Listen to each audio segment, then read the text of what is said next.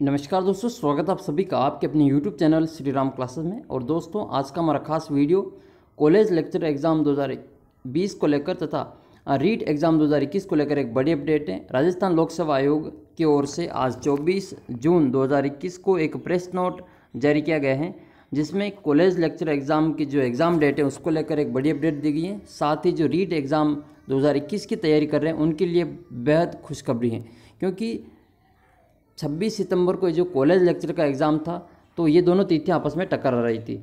इस कारण आरपीएससी ने आज जो प्रेस नोट जारी करके अपना जो 26 सितंबर को जो पेपर होने वाला था, उसको आगे एक्सटेंड किया गया है। तो आइए वो हम न्यूज़ देख लेते हैं। तो ये दोनों ही एग्ज़ाम के लिए काफ़ी इंपॉर्टेंट न्यूज़ है। आरपीएससी कॉलेज लेक्चर एग्ज़ाम और रीट 2021 के लिए। तो आइए इस प्रेस नोट को हम जारी, डाउनलोड कर लेते हैं। तो डाउनलोड हो चुका है ये। राजस्थान लोक सेवा आयोग अजमेर प्रेस नोट दिनांक 24 जून 2021 आयोग द्वारा दिनांक 22 सितंबर 2021 से 4 अक्टूबर 2021 तक आयोजित की जाने वाली सहायक आचार्य परीक्षा।